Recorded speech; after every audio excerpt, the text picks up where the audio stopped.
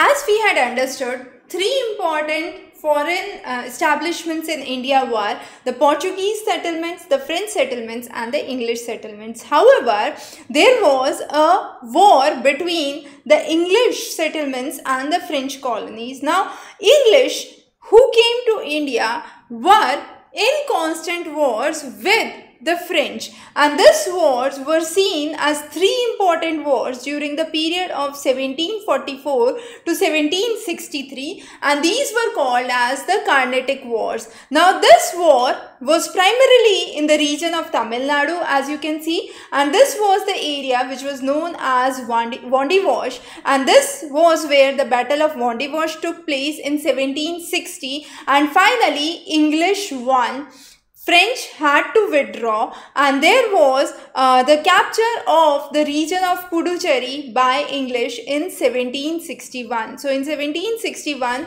French lost all their possessions in India. The final possession went to the English and that was the Puducherry in 1761.